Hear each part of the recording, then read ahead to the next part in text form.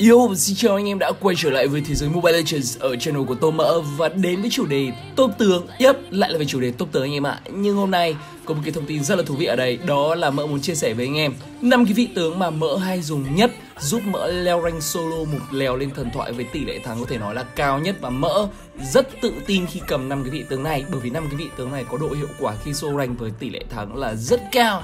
Uhm, không biết anh em xem Mỡ ấy, có bao giờ để thấy Mỡ khi mà chơi khi mà livestream cho anh em xem á là hay chơi năm cái vị tướng nào ạ? Và Mỡ cho rằng video clip này sẽ là cực kỳ phù hợp với anh em nào thích solo rank ít chơi cùng bạn bè và không có tay to gánh team giống như là mỡ bởi vì mỡ cũng toàn chơi một mình chơi solo rank mà thôi anh em ạ và ở một, mùa giải thứ 18 này, năm vị tướng nào mà mỡ hay chơi nhất, có tỷ lệ thắng cao nhất, dễ win nhất?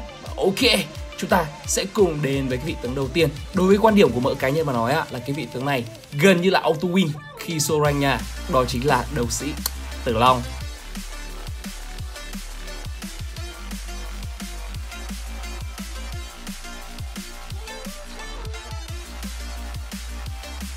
Tử Long là chiếc tướng à, đấu sĩ anh em nha Đi đường à, EXP, cầm chảm sát, lên à, điểm tài năng tách biệt. Chính là cái vị tướng giúp cho bạn có thể leo từ rank thấp lên thần thoại rất dễ dàng và đơn giản. Đơn giản có thể nói là đơn giản nhất ở đầu meta vùng 18 luôn. Nếu như anh em nào có xem mỡ like thì sẽ thấy mỡ chơi tử long không quá nhiều đâu. Nhưng cứ khi nào mà mỡ bị stress, mỡ bị căng thẳng Mỡ muốn có cho mình một cái chiến thắng. Và chỉ đơn giản là mỡ muốn đè nát team bạn Gánh team đi đến chiến thắng Thì tử long sẽ là cái lựa chọn hàng đầu của mỡ anh em ạ. Vì sao lại như vậy nhỉ? Đó là vì tử long có một cái lối chơi quá đơn giản, Quá dễ dàng, cùng bộ kỹ năng rất dễ dùng và không hề phức tạp. Cách chơi của Tử Long đó là anh em hãy chôn chân mình ở lên sp hoặc lên vàng, tùy team yêu cầu anh em đi lên nào thì đi. Rồi farm tới khi anh em có cái gươm thất hải và cái tràng phong kiếm là đủ.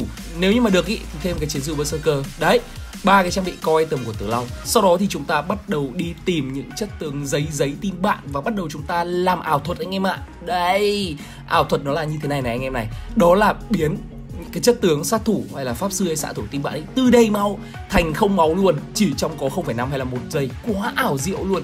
Team bạn kiểu vừa mới nhắm mắt phát xong ạ mở mắt ra phát thì thấy cái con tướng của mình đang gọi là lên bảng điểm số. Ô oh, ảo diệu không ạ? Vỗ tay vỗ tay vỗ tay. Yes. thì tử long là chất tướng đấu sĩ có khả năng sốc đam cực kỳ kinh khủng nếu đạt tới cái ngưỡng sức mạnh chính xác của mình. Chưa kể ạ là tử long còn phù hợp với nhiều vai trò như là đi ganh này đi đẩy đường đi đẩy trộm đi push trộm ạ cực xịn sò. Quan trọng nhất đó là tử long chưa hề bị Moontoon ngó ngàng sau cái dự án Next và không được đánh giá quá cao ở thời điểm hiện tại. U uh, một cái con tướng khỏe như vậy mà không được đánh giá quá cao. Tức là trong thời gian tới nó sẽ có thể được tăng sức mạnh anh em ạ. Và cái tỷ lệ cao nó bị giảm sức mạnh đi là rất ít anh em nha. Đó cho nên là cái vị tướng này à quên. Cái con tử long này thì hầu như ai cũng có luôn. Cho nên nếu anh em muốn tìm một cái game thắng ở trong show rank mà đơn giản dễ dàng hãy nhớ đến Tử Long giống như là mỡ nhá. Cái tên thứ hai, vị tướng này thì mỡ nghĩ là mỡ chơi trên livestream à, nhiều nhất rồi anh em ạ. Chơi đến có thể nói là nhiều anh em cảm thấy phát ngán luôn. Nhưng mà mỡ vẫn thích chơi chứ, bởi vì đây là một trong số những cái vị tướng tủ giúp mỡ giành chiến thắng mà. Đó chính là cái anh chàng đấu sĩ Châu. Nhưng à, lối chơi Châu của mỡ nó là hơi khác so với những cái người chơi khác. Anh em thử tham khảo cái lối chơi này nhá.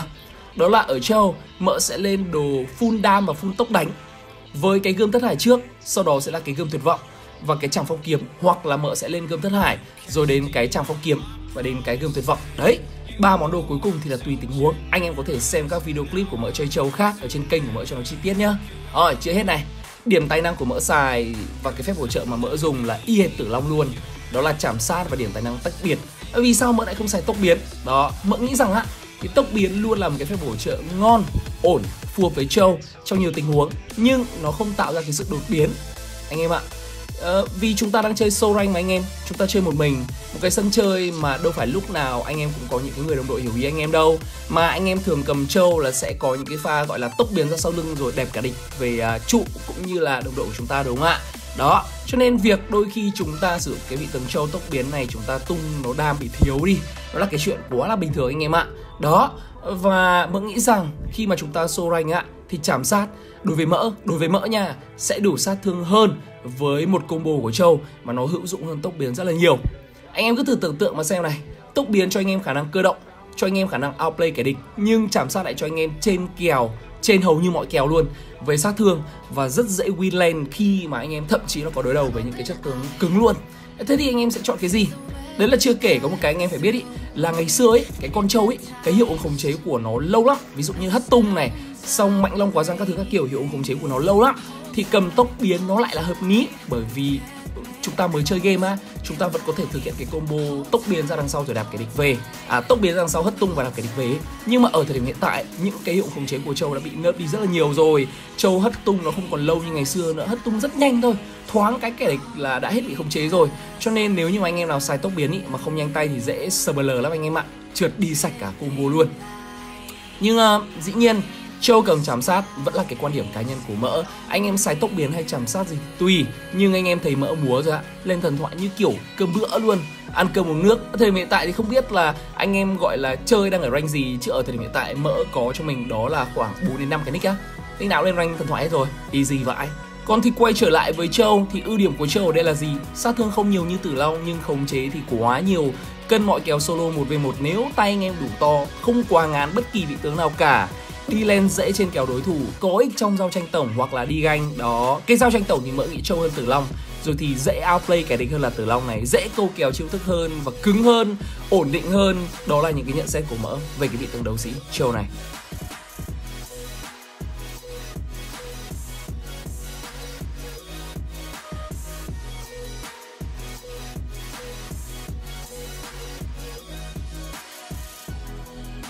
Ok, cái tên thứ ba, ui, Brody, sao quên được anh em? Brody, auto win với Brody. Mặc dù là cái vị tướng xạ thủ mới ra nhất ở trong Mobile Legends, nhưng game nào khó thì có Brody lo anh em ạ. Brody thì cá nhân mỡ cho rằng là phù hợp với hai kiểu đi đường. Đó là đi đường rừng hoặc là đi đường len Kiểu đi nào thì Brody cũng bá hết. Nhưng lời khuyên mỡ ở đây đó là Brody đi len đã là quá ổn rồi. Anh em có thể cầm cho Brody rất nhiều kiểu phép hỗ trợ. Nổi bật nhất đó là cái thanh tẩy bảo hộ hoặc là thậm chí là cái phản kích ạ để cho Brody nó cứng cáp lên anh em nha. Vì Brody nghe chừng là hơi giấy tầm bắn của Brody đôi khi lúc mới kích hoạt thì nó cũng là hơi gần. Còn thì ở Brody có gì anh em? Đây để tôi kể cho anh em rất ngắn gọn và đỡ dài dòng. Thứ nhất Brody là xạ thủ mạnh nhất trong số tất cả xạ thủ của Mobile Legends. Ở giai đoạn đầu game và giữa game ạ. Ừ, kinh không ạ? Không có con xạ thủ nào solo thằng nó đâu anh em ơi. Cái thứ hai đó là Brody là xạ thủ dồn đam to nhất Mobile Legends con Brody này mà xạ thủ dồn đam to nhì thì chắc chả thằng nào dám dồn đam to nhất luôn anh em ạ và Brody là xạ thủ có thể 1v2 hoặc thậm chí là 1v3 cực dễ dàng nếu như anh em biết chơi và team bạn có ít hiểu khống chế và ít khả năng sốc đàn. đủ ấn tượng chưa ạ đủ ấn tượng chưa anh em có lẽ rằng là Brody sẽ không dành cho những anh em nào thích một cái vị tướng xạ thủ đẹp trai hoặc xinh gái hoặc thậm chí là tấn công nhanh, tung chiêu nhanh. Nhưng nếu anh em thích một cái con xạ thủ ngầu, bắn phát nào thốn phát đấy, có khống chế, sốc đam khủng thì ui giời ơi Brody nó bá vãi nồi anh em ạ. Chính bản thân mỡ cũng đã phải rất kiềm chế không chơi Brody quá nhiều bởi vì chơi dễ win lắm anh em ạ. Và bản thân em cũng thấy nhàm chán khi mà thằng mỡ chơi quá nhiều cái vị tướng Brody này nữa bởi vì chơi là auto win rồi còn gì nữa thú vị đâu đó. Ờ, mà nghĩ rằng anh em nào thích chơi xạ thủ thì bắt buộc phải mua pro đi về. Cho dù sắp tới nó có bị giảm sức mạnh đi chăng nữa, nhưng vẫn là chơi được anh em ạ. Hãy trải nghiệm đi. Trước khi mà chúng ta không còn được, gọi là, có thời gian để tận hưởng một cái vị tướng rất mạnh ở meta hiện tại nhá. Rồi, cái vị tướng thứ tư ở đây. Đây cũng là một cái hình mẫu sát thủ mà mỡ cực thích anh em ạ. Vì anh em chẳng cần phải farm, Anh em chỉ cần, gọi là, sống trên xương máu của kẻ địch mà thôi.